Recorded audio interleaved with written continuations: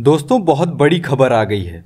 मुख्यमंत्री योगी आदित्यनाथ एक कथित वीडियो में पत्रकार को चूतिया कहते हुए पाए गए। हुआ ये था कि आदित्यनाथ का इंटरव्यू चल रहा था। बेचारे एएनआई वाले पत्रकार से कैमरा थोड़ा हिल गया। आदित्यनाथ को गुस्सा आ गया। आदित्यनाथ ने कहा, क्या करते हो चूतियापे का काम? क्या करते हो चूतियापने का? योगी आदित्यनाथ के इस चुतियापे वाले वायरल वीडियो पर अखिलेश तगड़ा खेल खेल गए। अखिलेश यादव ने क्या कहा वो आपको आगे बताएँगे। लेकिन जैसे ही आदित्यनाथ का ये वीडियो वायरल हुआ, बीजेपी वाले इस वीडियो को फेक बताने में जुट गए।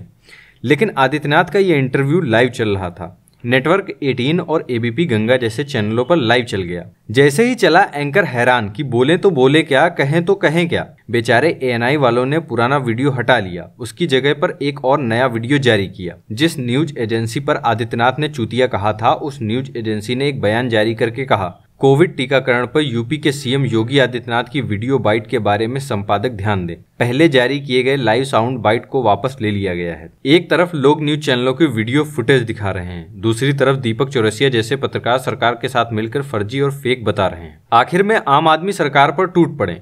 सच को झूठ बताने वालों को, धमकाने वालों को दुम दबाकर ट्विटर से भागना पड़ा। अखिलेश यादव ने आदित्यनाथ की मौज लेते हुए कहा कि पत्रकारों को दिए मान्यवर के प्रवचन सुनिए, लेकिन हेडफोन लगाकर और बच्चों से दूर रहकर, क्योंकि चूतिया शब्द अगर कोई सामान्य व्यक्ति भी समाज में बोले तो लोग उसे गाली मानते हैं। अखिलेश यादव के बाद उनके दाहिने हाथ सपा के तेज तर्रार नेता सुनील सिंह साजन ने भी योगी आदित्यनाथ की जमकर क्लास लगाई। सुनील सिंह साजन ने कहा कि 403 विधायक और 80 से ज़्यादा सांसद देने वाले देश के सबसे बड़े राजनीतिक प्रदेश उत्तर प्रदेश के मुख्यमंत्री योगी आदित्यनाथ जी की पत्रकारों के प्रति असभ्य भाषा, एक योगी की जीवन शैली का हिस्सा तो हो ही नहीं सकती। क्या पत्रकारों के सिरमोर अब योगी जी पे भी एफआईआर कराने की हिम्मत दिखाएँगे? दोस्तों, सामान्य गृहस्थ मुख्यमंत्री ये बातें बोलता तो एक बार नजरअंदाज की जा सकती थी, लेकिन एक महंत, एक योगी मुख्यमंत्री ऐसे कठोर शब्दों का इस्तेमाल करता है तो मन विचलित होता है। तो दोस्तों, आज के वीडियो में इतना ही। योगी की ये बाइट सच्ची है या झूठी, ये सरकार जाने। न्यूज़ चैनलों पर लाइव चली है, जिसके आधार पर आपको ये खबर बताई गई है। हम पूरी पारदर्शिता बरतते हुए आपको सच्ची खबर बताने में विश्वास रखते हैं। खबर के बारे में आप अपनी राय कमेंट बॉक्स में दे सकते हैं।